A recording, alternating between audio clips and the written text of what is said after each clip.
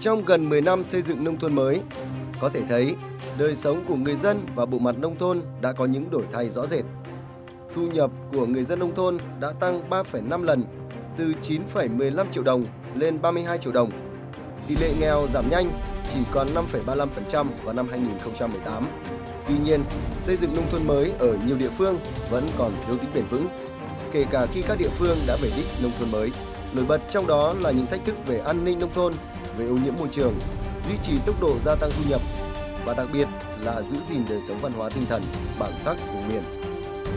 Quan điểm xây dựng nông thôn mới không có điểm dừng, vì thế cần phải được triển khai vào thực tế mạnh mẽ hơn nữa trong thời gian tới, hướng tới xây dựng nông thôn mới thực sự bền vững.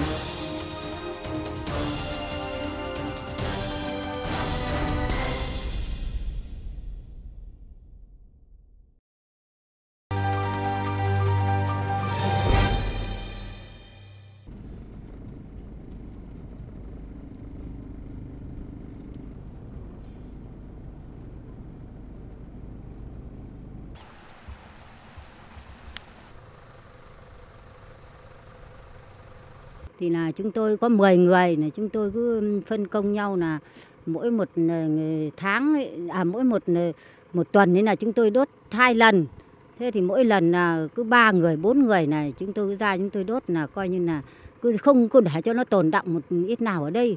Thế còn cái rác ở đây ý, thì là người ta phân hủy ra rồi người ta phân loại ra rồi thì là thế còn ra đây được những cái này chúng tôi đốt được mà chúng tôi không dùng gì đến hóa chất được cắt đây là cây cối chúng tôi cắt hai bên đường này là mới lại rơm rác này chúng tôi dùng để chúng tôi đốt đi.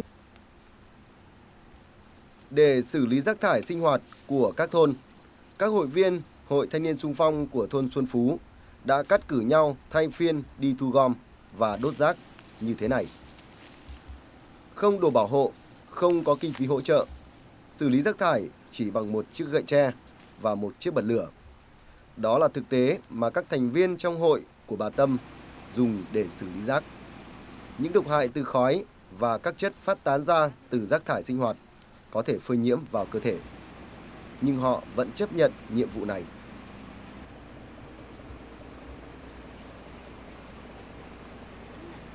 Ôi ngại chứ, mới đầu như này chúng tôi thành lập cái bãi rác này ra đây là chúng tôi nghĩ bẩn lắm coi như là buồn bẩn rồi các cái này nó cũng bẩn nó cũng ngại. Nhưng mà thôi thì làm thì nó cũng quen đi mình nghĩ cái trách nhiệm của mình là để đóng góp vào cái công việc cho nó cái cái cái, cái thôn xóm cho nó sạch sẽ. Chứ còn mới đầu ra đây là con cái nó còn không muốn cho làm ấy.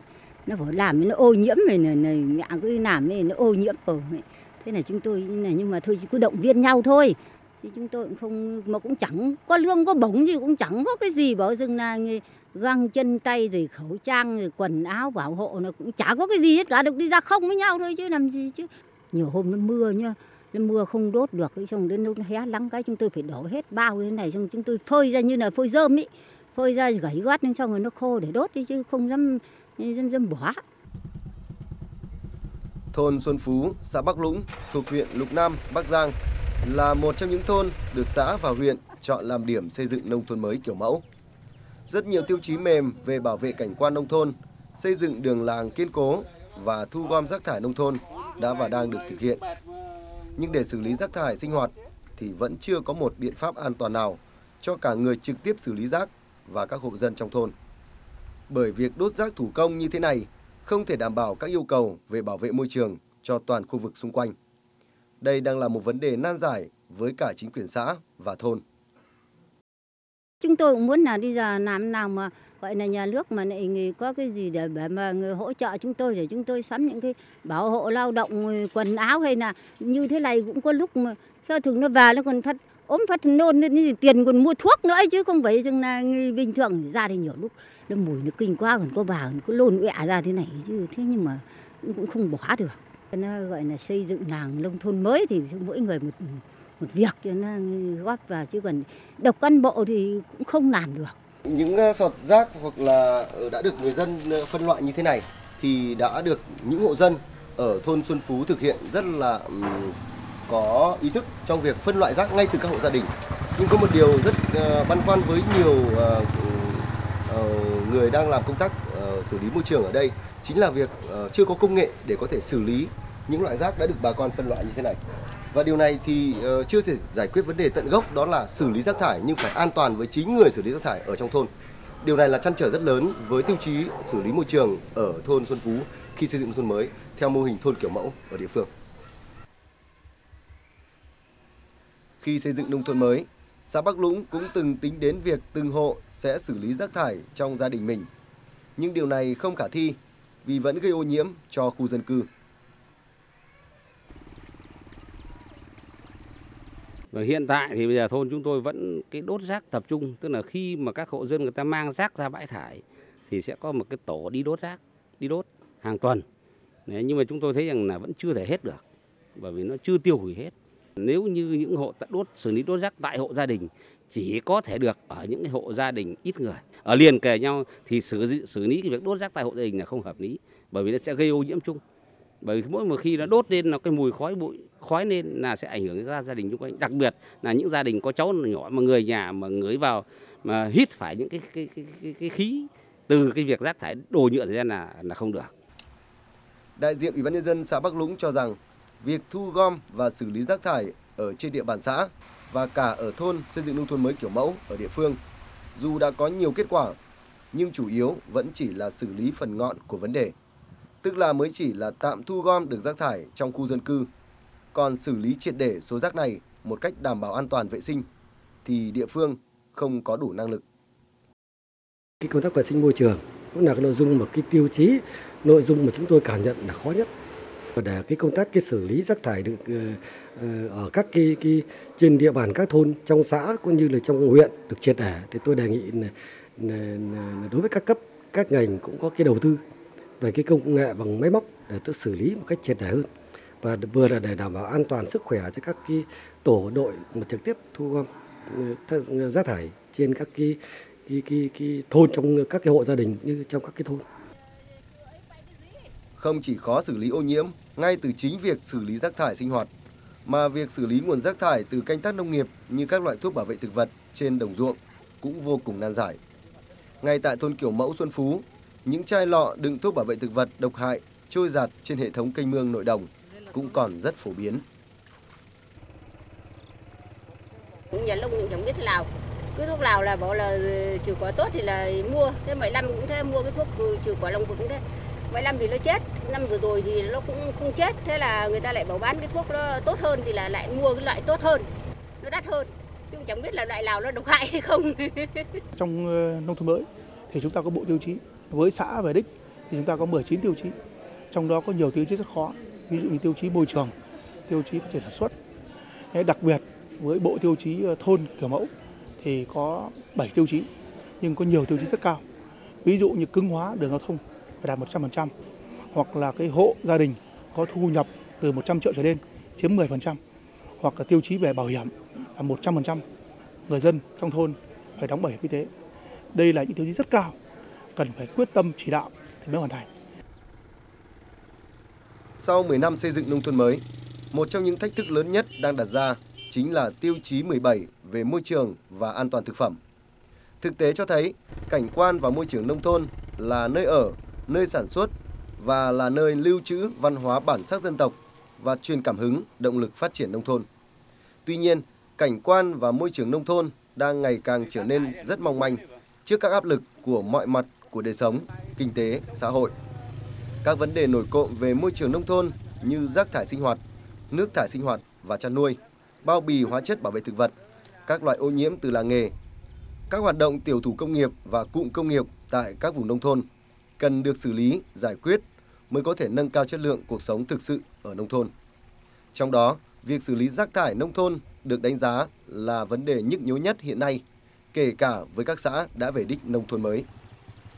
Có thể nói rằng hiện nay là ngay cả ờ, phần đông của các xã đã đặt chuẩn nông thôn mới thì chúng ta thấy là cái mà tồn tại môi trường lớn nhất đó là cái rác thải và nước thải thì hiện nay đang ô nhiễm rất nặng. Rác thải thì ngay cả những xã đã đạt chuẩn nông thôn mới thì vẫn thấy rằng đường làng rồi thì ờ, các cái chợ rồi các cái bờ kênh bờ mương vẫn còn rất nhiều rác thải cả nước hiện nay nếu nói về cái đốt rác thì ờ, mới có 1,7% là đốt với ờ, tương đối sạch. Khoảng 12% là đốt với những lò mini cho nên không đảm bảo khí thải môi trường cũng là không tốt. Số liệu thống kê cho thấy, ngoài xã có tổ chức thu gom rác thải sinh hoạt đạt hơn 62%, thì trên toàn quốc, xã có hệ thống thoát nước thải sinh hoạt chung mới đạt hơn 34%. Để giải bài toán ô nhiễm môi trường nông thôn này, nhiều ý kiến cho rằng cần phải có sự vào cuộc của các doanh nghiệp. Rất nhiều địa phương đang lung túng là muốn xây dựng lò đốt rác thì không có tiền, không dám dành ngân sách cho nên chỉ là dựa vào các cái đóng góp của người dân để từng xã để làm những cái lò đốt mini. Có nơi thì lại uh, cấp ngân sách cho các cái xã để làm cái cái chôn lấp. Và hai cái điều đó đều gây đến hệ lụy là không đảm bảo cái nguồn nước an toàn. Thì đòi hỏi vốn đầu tư lớn. Và chúng ta phải làm sao để kêu gọi doanh nghiệp vào lĩnh vực này. Và muốn hấp dẫn doanh nghiệp thì phải làm cho họ thấy rõ cái lợi. Và cái lợi đấy nó thể nó thường doanh nghiệp họ làm, họ họ cần đòi hỏi là mình giúp cho họ một cái đất để hỗ trợ. Thứ hai là cái ở cái giá để xử lý tiêu hủy một tấn rác là bao nhiêu? Để đảm bảo doanh nghiệp có lợi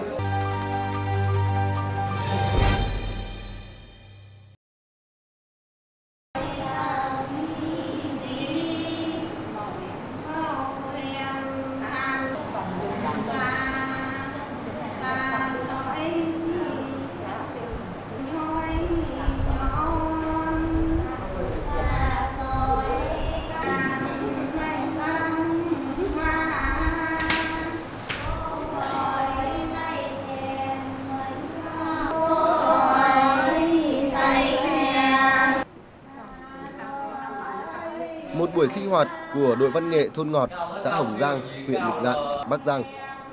Những làn điệu của bài hát Sọng Cô đang được các cụ cao niên truyền dạy lại cho các chị em trong hội phụ nữ thôn. Đây là làn điệu dân ca của riêng đồng bào dân tộc Sán Dìu mà bà con trong thôn còn lưu giữ được trong nhiều năm qua. Khi được chọn là thôn xây dựng nông thôn mới kiểu mẫu của xã, ngoài việc chỉnh trang lại đường làng ngõ xóm, thì duy trì làn điệu hát cổ này được xem là nhiệm vụ trọng tâm của thôn ngọt.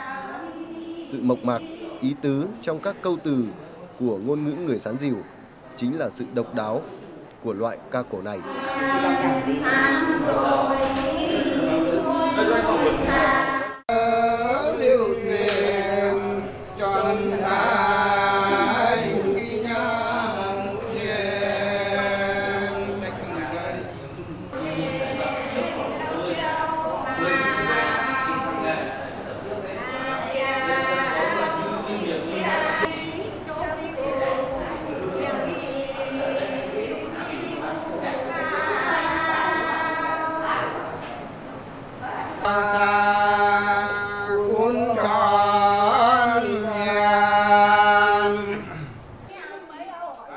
Gần 2 năm nay, thôn Ngọt đã hoàn thành các chỉ tiêu theo 19 tiêu chí xây dựng nông thôn mới.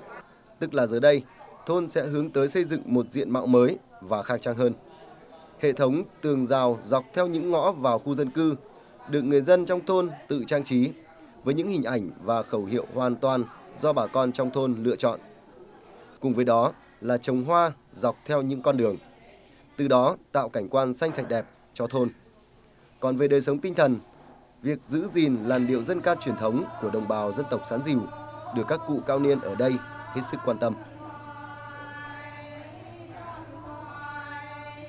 Bài hát này ờ, chúng tôi ờ, truyền từ bé, ờ, từ đời ông, đời cha truyền lại. Tiếng kinh không hát được, chỉ hát tiếng trại thôi. Hát hơi khó đấy mà ai không biết hát thì hát hơi khó, nó không có không lấy được điệu, không biết hát. Hát như người ta cúng ấy, mình biết hát thì mình có, có điệu hát rồi. Còn người không biết hát thì hát không khác gì người ta cúng. Bây giờ già rồi thì ờ, giải sử khách ờ, ở Tân Quang, Vĩnh Phúc, ờ, những nơi người ta mời thì cũng đi, cũng đi giao lưu rồi cũng hát. Rồi thì mùng 8 tháng 2 ở hội ngày hội cũng đi hát. Cho nên là chúng tôi cũng là thực hiện nghị quyết Trung ương năm khóa 8 kiên quyết xây dựng và giữ vững cái bản sắc dân tộc của mình. Thì chúng tôi sẽ phấn đấu ngày càng là giao lưu, tổ chức ra giao lưu hát trong huyện, trong xã và trong tỉnh đồng thời là sang các tỉnh khác giao lưu sẽ nhiều hơn và quyết tâm sẽ giữ vững. Không chỉ là duy trì các buổi tập luyện cùng sinh hoạt của những người cao tuổi, mà đội văn nghệ này còn mong muốn có thể truyền thụ lại cho thế hệ trẻ trong thôn các làn điệu hát cổ của đồng bào mình. Đó là duy trì và gìn giữ lối hát sọng cô. Một làn điệu mà hoàn toàn sử dụng ngôn ngữ của đồng bào sán dìu. Và các cụ cao tuổi ở đây cũng cho rằng nếu không truyền thụ lại thì rất có thể những nét tinh túy, độc đáo của làn điệu này sẽ bị mai một theo thời gian.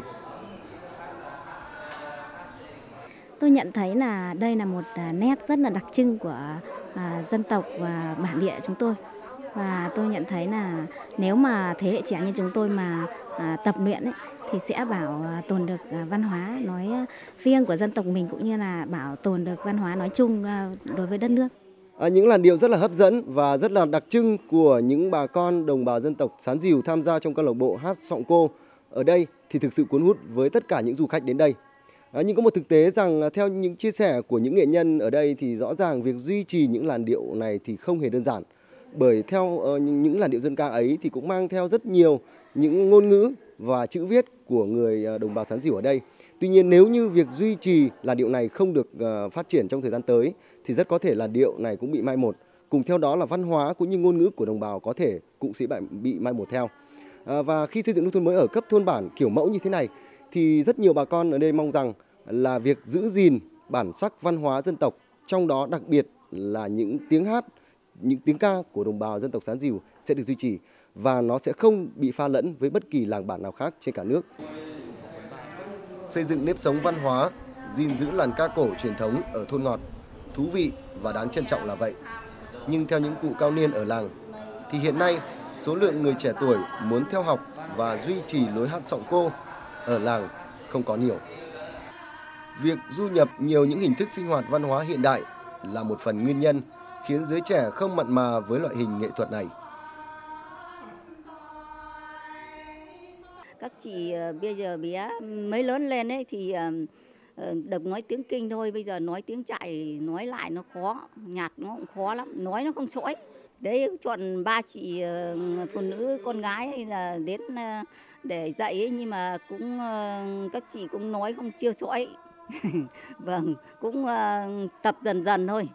Vâng, ngay bây giờ cũng chưa hát được. Đề nghị các vị có ý kiến để vận động tuổi trẻ, đặc biệt là phụ nữ trẻ và thậm chí thanh niên đang công tác ở địa phương cũng à, vào hội để nhằm mục đích duy trì cái bản sắc dân tộc này có thể mới kéo dài được. Nếu không là nguy cơ là sẽ mai một. Để xây dựng nông thôn mới ở cấp thôn kiểu mẫu, chính quyền địa phương ở Lục Ngạn cũng đã đưa ra chủ trương không chọn thôn quá điển hình mà chọn thôn ngọt là thôn có đời sống kinh tế trung bình. Nhưng điểm nhấn của việc xây dựng thôn kiểu mẫu ở đây chính là chọn vùng có đồng bào dân tộc thiểu số, có nét văn hóa đặc trưng để bảo tồn và phát huy những giá trị riêng có. Thế thì đối với Lục Ngạn thì chọn ngay cái mô hình là thôn ngọt ra Hồng Giang ở đây thì chúng tôi là chọn một cái thôn rất đặc thù. Thứ nhất là cái thu nhập không phải cao nhất. Cái thứ hai là gần như là thuần nông. Cái thứ ba đó là bà con dân tộc à, tham gia xây dựng nông, nông, nông, nông thôn mới. Thì đây là một cái rất là đặc trưng. Thế và chúng tôi thấy rằng là à, qua một năm thực hiện à, môi trường thì sạch sẽ, đời sống bà con nhân dân thì phát triển bởi vì cái mô hình sản xuất rất là, là hiệu quả. Thế rồi là à, À, hạ tầng thì rất là tốt thế và cái văn hóa thì được bảo tồn. Đại diện Sở Nông nghiệp và Phát triển Nông thôn Bắc Giang cho biết, dù xây dựng nông thôn mới ở địa phương này còn gặp nhiều khó khăn, khi vẫn còn nhiều xã thuộc vùng núi chưa đạt 19 tiêu chí. Nhưng với những xã đã đạt 19 tiêu chí, thì xây dựng nông thôn mới là không có điểm dừng. Do đó, tỉnh tập trung chỉ đạo thực hiện xây dựng nông thôn mới kiểu mẫu cấp thôn, trong đó ưu tiên nâng cao những tiêu chí mềm cho các thôn như tỷ lệ hộ có thẻ bảo hiểm y tế, tiêu chí môi trường và phát triển văn hóa bản địa. Là từ phát triển sản xuất, nâng cao thu nhập của người dân cũng như là chỉnh trang bộ mặt nông thôn và đặc biệt là cái tiêu chí văn hóa là duy trì phát huy cái bản sắc văn hóa dân tộc và cũng như là đảm bảo cái an ninh trật tự ở nông thôn. Hai tiêu chí này ở Bắc Giang chúng tôi cũng rất là quan tâm. Tới nay, toàn tỉnh Bắc Giang đã có 89 xã đạt chuẩn nông thôn mới, chiếm 43,8%. Có một đơn vị đạt chuẩn nông thôn mới cấp huyện. Với những xã đã đạt chuẩn nông thôn mới, Bắc Giang xác định sẽ tiếp tục xây dựng nông thôn mới nâng cao. Theo đó, sẽ tiếp tục thực hiện bộ tiêu chí thôn nông thôn mới kiểu mẫu gồm 7 nhóm vấn đề là giao thông, vệ sinh môi trường, phát triển sản xuất, nhà ở và vườn hộ gia đình, nhà văn hóa, khu thể thao thôn, văn hóa, y tế, hệ thống chính trị, an ninh trật tự xã hội. Dự kiến, kế hoạch công bố thôn đạt chuẩn theo 7 chỉ tiêu trên sẽ thực hiện trước ngày 31 tháng 10 năm 2019.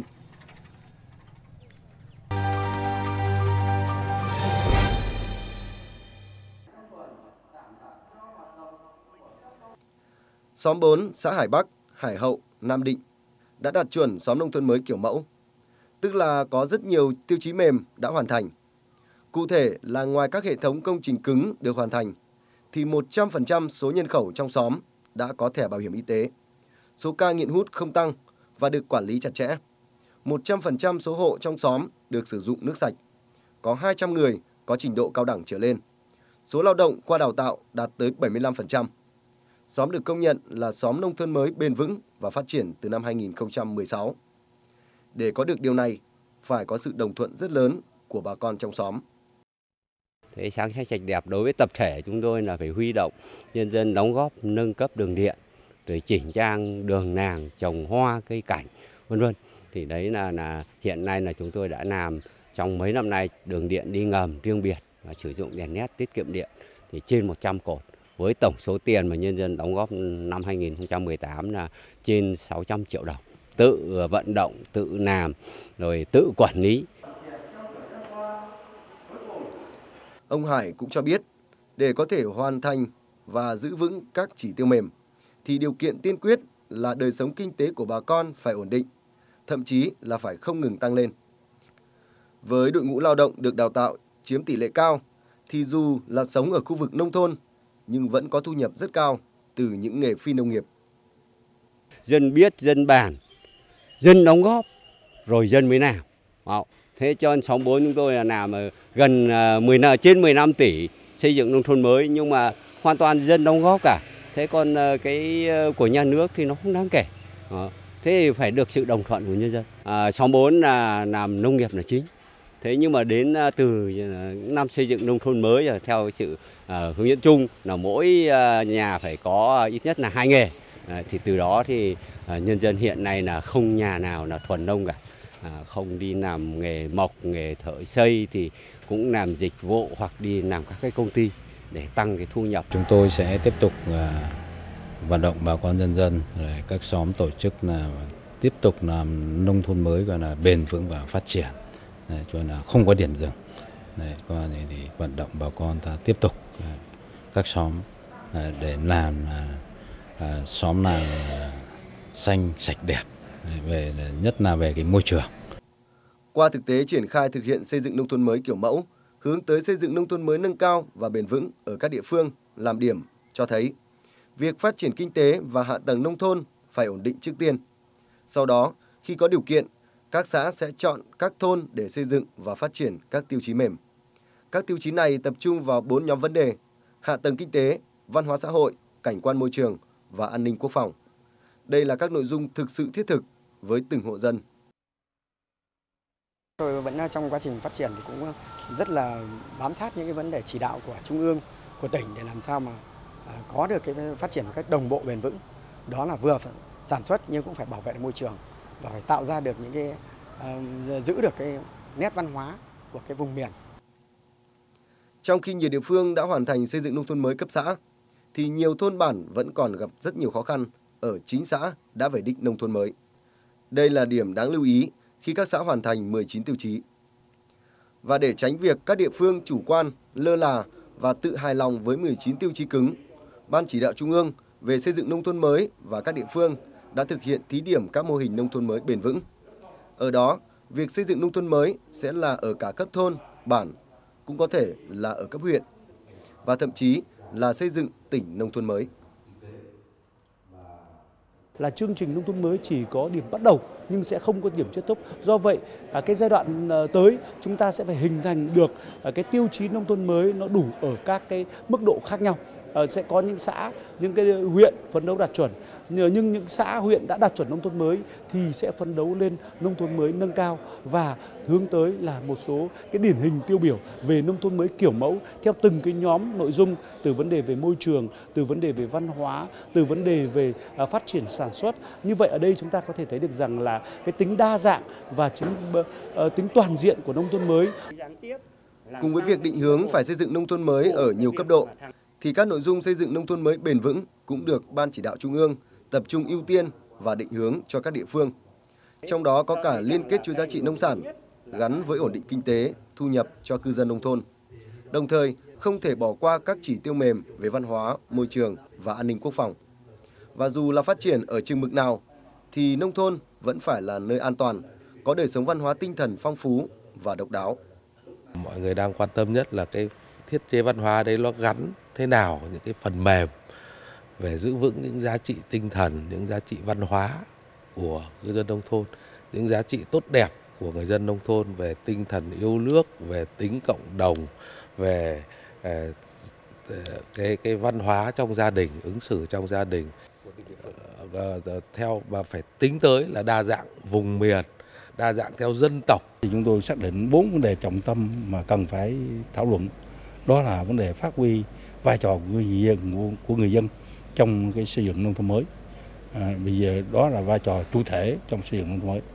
Thứ hai là chúng tôi phát triển cái à, trao đổi là vấn đề phát triển kinh tế nông nghiệp nông thôn à, trong xây dựng nông thôn mới. Và đây là cái vấn đề then chốt để mà nâng cao cái thu nhập của người dân sống ở nông thôn. Vấn đề thứ ba đó là vấn đề bảo tồn và phát huy những giá trị văn hóa truyền thống của dân tộc trong xây dựng nông thôn mới. Và cái vấn đề thứ tư đó là giữ gìn và uh, xây dựng và giữ gìn uh, môi trường xanh sạch đẹp ở nông thôn. Tuy phải tiếp tục đẩy mạnh phát triển kinh tế, nâng cao thu nhập cho người dân nông thôn, song nhiều chuyên gia cho rằng không nên phát triển kinh tế bằng mọi giá, mà đánh mất đi sự bền vững về môi trường hoặc làm phai nhạt nét văn hóa truyền thống vốn có ở vùng nông thôn. Tái cấu nông ờ, kinh tế phải gắn với tái cấu văn hóa và xã hội. Nếu không làm kinh tế bằng mọi giá là không được mà nếu trong nông nghiệp ấy, còn trả giá đắt hơn nhiều và lâu dài hơn nhiều so với công nghiệp nữa cơ. Đây một bài toán an toàn thực phẩm nay chúng ta thấy cái quá trình chúng ta thực hiện bốn hóa trong đó có hoa hóa đấy đang để lại hậu quả hiện nay mà chưa xử lý xong. Cho nên những cái đó phải lường trước để giải quyết. Thì chúng ta cái cái cái nông thôn mới này phải có một cái nhiệm vụ là làm sao giảm bớt cái khoảng cách giữa các vùng miền, giữa các dân tộc để đảm bảo sự phát triển bền vững và đảm bảo sự phát triển đến nông thôn mới đến mọi vùng mà nó mới đến mọi làng nông thôn mới đến mọi bản không trừ ai. Và do đó phát triển nông thôn mới với một cái tốc độ như vậy, nhưng mà không để ai bỏ rơi về phía sau. Tôi xin ta thiết đề nghị như thế. Tại vì đồng bào các dân tộc, đồng bào các vùng nghèo, lâu lắm, băn khoăn lắm mà nói tôi tôi tôi lần thúc, tôi làm quốc hội, tôi ở tây nguyên này băn khoăn lắm về cái việc cái khoảng cách giữa các dân tộc qua 10 năm xây dựng nông thôn mới, tới nay cả nước đã có hơn 4.340 xã đạt chuẩn nông thôn mới và dự kiến hết năm 2019 sẽ có trên 50% số xã trên cả nước đạt chuẩn nông thôn mới, hoàn thành kế hoạch trước một năm so với mục tiêu ban đầu của Ban chỉ đạo Trung ương. Tuy nhiên, nhiều ý kiến cho rằng tuy số xã nông thôn mới rất nhiều nhưng còn nhiều khoảng chênh lệch giữa các vùng miền. Người dân nông thôn chưa khai thác hết tiềm năng đất đai để sản xuất. Bên cạnh đó, vấn đề ô nhiễm môi trường nông thôn ngày càng là thách thức lớn. Tình trạng bê tông nông thôn quá mạnh, song gắn kết cộng đồng ngày càng lỏng lẻo. Để xây dựng nông thôn mới thật sự bền vững thì phải gắn liền với cơ cấu lại ngành nông nghiệp, ưu tiên cho đầu tư phát triển sản xuất và nâng cao thu nhập cho người dân. Nâng cao dân trí, xây dựng môi trường sạch, đẹp, giữ được bản sắc làng quê và thu hẹp khoảng cách giữa nông thôn và thành thị. Chúng tôi công tác bên ngành nông nghiệp thì rất là kỳ vọng với một cái ước mơ, chúng ta tiếp tục có một cái sự phát triển cả ba khu vực. Một là chúng ta có phấn đấu làm sao có một cái nền nông nghiệp hiện đại trong hội nhập. Chúng ta có một cái giai cấp nông dân chúng ta mà làm sao là à, tiến bộ và khá giả và tiến tới giàu có. Chúng ta xây dựng một cái nông thôn làm sao mà mang tính chất là nông thôn có những nét đẹp văn hóa cần giữ gìn bản sắc một cái vùng quê à, môi trường trong sạch, một cái vùng quê có những cái nét thanh tao đáng sống. Xây dựng nông thôn mới nâng cao, hướng tới bền vững cũng đang là một trong những chương trình hành động rất quan trọng để thực hiện mục tiêu nghị quyết 26 của Ban chấp hành Trung ương Đảng khóa 10 về nông nghiệp, nông dân, nông thôn. Với mục tiêu cải thiện nhanh hơn về đời sống người dân nông thôn, đưa nông thôn tiệm cận với thành thị về kinh tế và cơ sở hạ tầng, nhưng vẫn giữ được nét văn hóa riêng có, trong lành của nông thôn.